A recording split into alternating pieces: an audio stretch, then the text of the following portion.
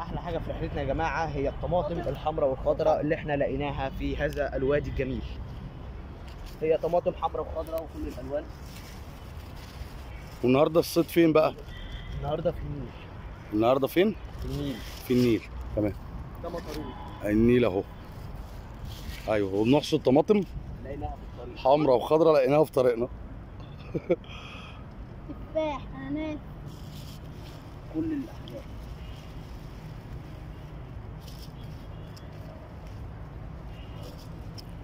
وده موسم حصاد الطماطم عند سمير ويوسف. خد. سيبنا الحياة البرية وقاعدين بنلم طماطم. وما تقطعوش جذور. لا سيب الشجر. سيبوا الشجر عشان تطلع تاني. وكل مرة نلم طماطم ونلم حشرات. ده ده بقى, ده بقى مكاننا السر خلاص. مكان السري بتاعنا آه. خد. خد. وهتعمل لنا الأكلة الشهيرة بتاعتك بالطماطم الخضراء يا سمير. آه. طماطم خضراء مقطعة طرنشات أيوه ومقلية في الزيت. بقول لهم بابا قاعد بيصطاد ما مسكش ولا سمكة ولا آه. عصفور حتى. دلوقتي بابا قاعد اهو.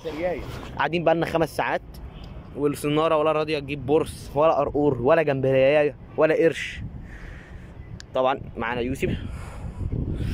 وأنا دلوقتي هوريكم ناتج النهارده لحد الآن فقط. اولا معانا قنافذ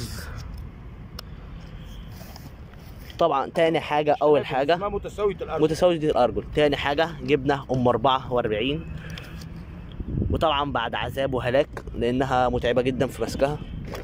جبنة عنكبوت أحمر. جبنة كمان قواقع كتير جدا. قواقع مائية. قواقع مية. قواقع مائية. ما حطيتولهاش مية ليه يا جماعة؟ لا تموت. خد حط لها شوية مية. حط لها شوية مية. جبنة خنفس لسه ما نعرفش ما اسمه. ده الأحمر؟ آه لا. خنفس اسود وجبنة هذا الكلب الشقي. ضفدوع ولقينا واحد تاني أخوه بس كان هناك كده وجري مننا الله يسامحه. بس هنقفش غيره إن شاء الله. استنى. آخر حاجة معانا وهي الارمله السوداء. ده عنكبوت سام جدا وخطير. هو الارمله السوداء زي ما أنتم شايفين. بس لحد الآن جمعنا تابعونا عشان نوريكم كل جديد في هذا النيل الشيق. وبعد يا أصدقائي جمع متساوية الأرجل والضفادع والحشرات لقينا هنا مستعمرة نمل. بس طبعا حرام إحنا مش هناخدها علشان بينقلوا أكل ورز وقمح. زي ما أنتم شايفين كده هما بينقلوا الأكل وبيجمعوا أكل فحرام مش هناخدهم.